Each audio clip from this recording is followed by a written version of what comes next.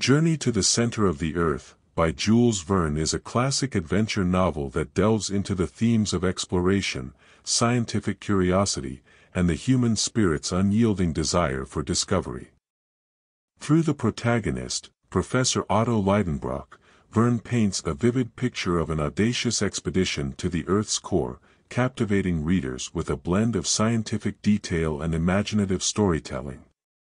At its core, Verne's novel is a celebration of human ingenuity and perseverance. The character of Professor Lidenbrock embodies the relentless pursuit of knowledge, driven by his insatiable curiosity and determination to uncover the mysteries of the natural world. His decision to decipher an ancient manuscript leads to the discovery of a passage into the Earth's interior, setting the stage for an extraordinary journey.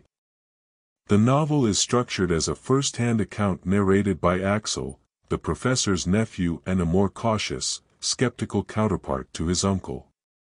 Axel's perspective provides a contrasting viewpoint, offering a balance between scientific skepticism and wonder.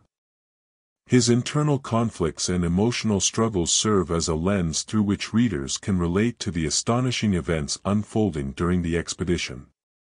Verne's meticulous attention to detail and scientific accuracy is evident throughout the narrative.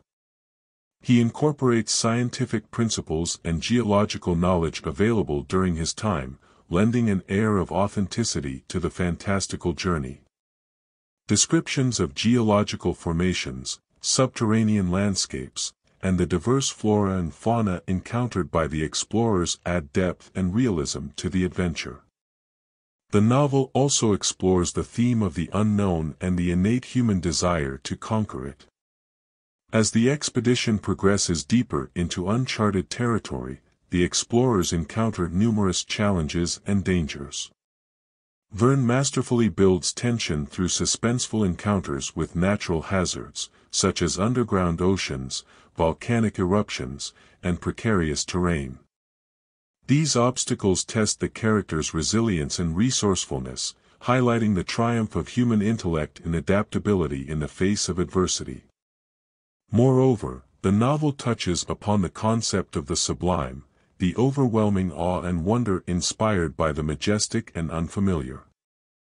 Verne evokes a sense of wonderment through vivid descriptions of the subterranean world, igniting the imagination and inviting readers to marvel at the beauty and strangeness of the unexplored realms beneath the Earth's surface.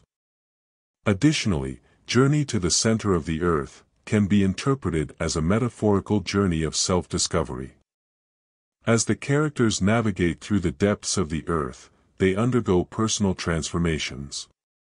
Professor Lidenbrock's unwavering determination softens into a deeper understanding of the value of human relationships and the importance of companionship.